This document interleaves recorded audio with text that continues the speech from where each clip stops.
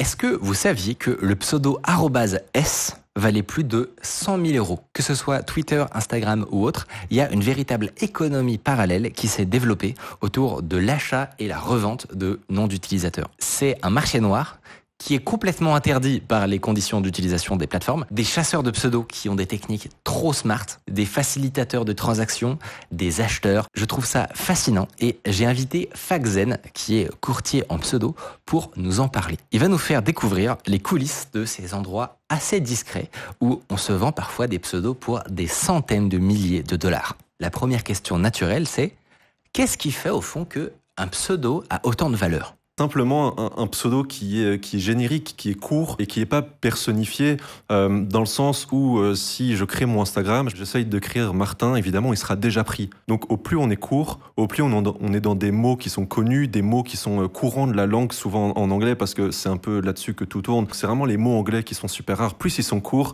euh, plus ils ont une connotation de tristesse, euh, de d'ego. ça, ce détail, il est, incroyable. En fait, parce que les gens qui, achètent ça, ils, ils, veulent prouver, en fait. C'est un peu ça.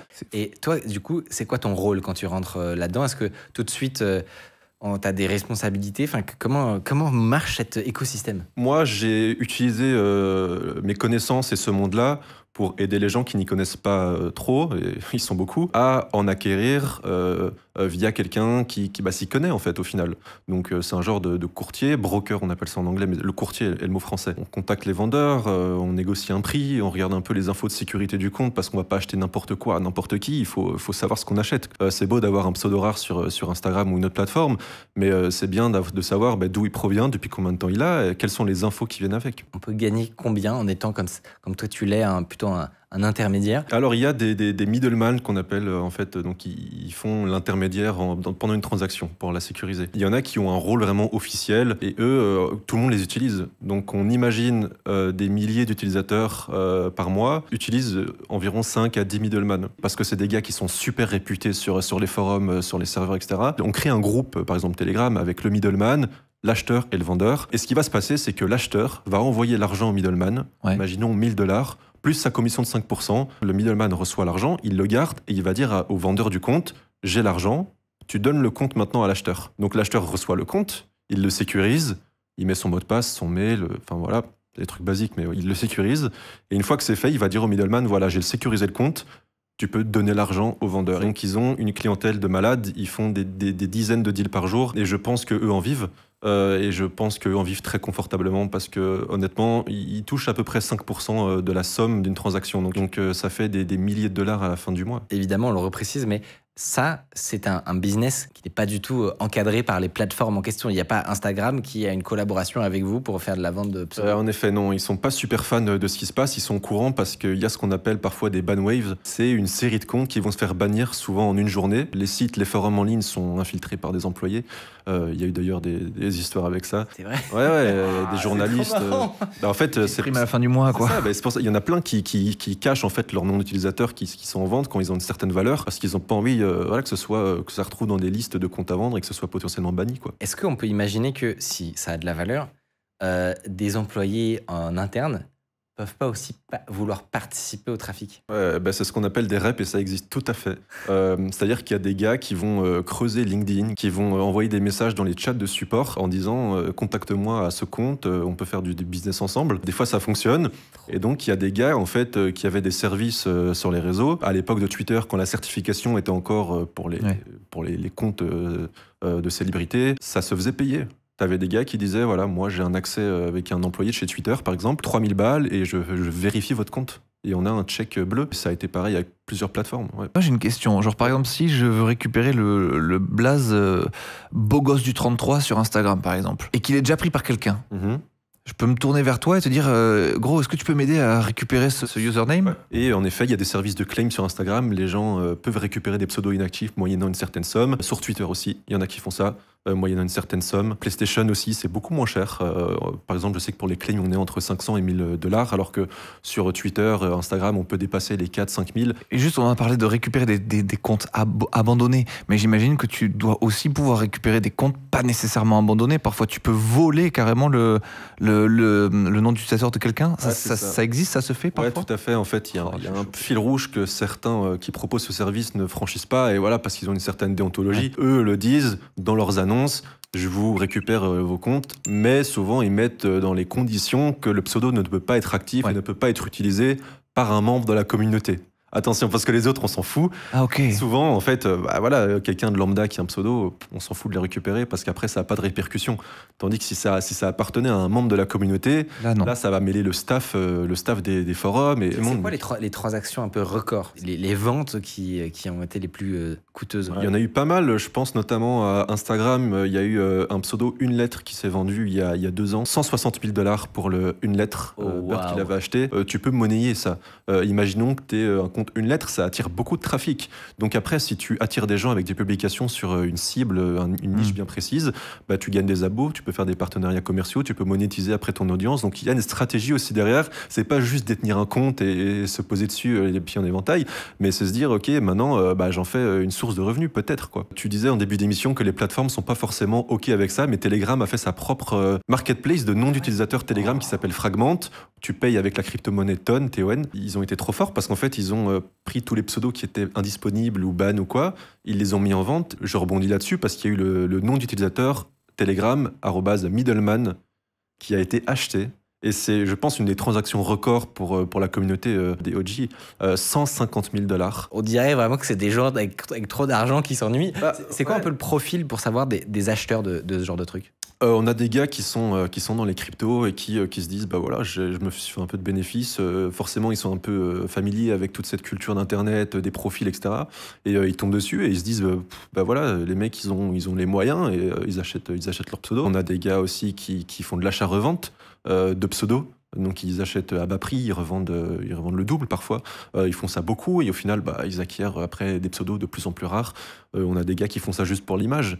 Ils achètent un compte, ils sortent de nulle part. Tu, te prends ça sur Instagram, le mec il, met son compte en privé, il a zéro abonné, zéro abonnement et il est content. Il, a, il a dépensé 70 000 balles et il est content quoi. C'est complètement hallucinant. Michael, j'ai une question pour toi justement qui a un lien avec tout ça. Je crois que toi, à un moment donné, tu n'avais pas mis code sur toutes les plateformes.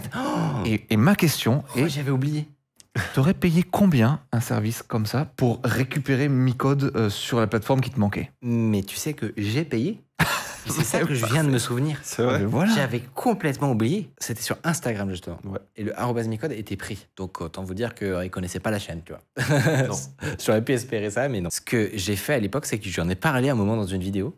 Et donc, il y a plein de gens qui sont allés enquêter sur cette personne, le pauvre, d'une certaine manière, pour le retrouver euh, sur Facebook et lui envoyer des messages en mode il euh, y a euh, un youtubeur ah. français qui, qui voudrait qui aimerait ton contact pour discuter machin. C'est pas moi qui avais lancé la chasse. Et oui donc il savait qu'il y avait des thunes à se faire. exactement le problème c'est que du coup il a tous ces gens qui lui parlent et se dit hmm, on va se faire un peu de thunes donc en vrai, je crois qu'au final, c'était vraiment euh, pas grand chose. J'ai dû payer genre euh, dans les 100 euh, ou 200 balles. Tu vois. Ah ouais, ça va, ça, va. Exactement. Non, non, mais ça va. C'était juste un petit truc. Mais je me souviens qu'il avait demandé à, que la transaction soit faite en Western Union. Oh, oui, ah bah, Dubaï. Honnêtement, à l'époque, j'étais en mode Attends, je le fais, je le fais pas. Non, mais c'est quand même. Le... Si c'est sûr que c'est une arnaque, c'est que c'est pas possible. On me demande du Western Union. Et ça a fonctionné. Il m'a passé le, compte, etc.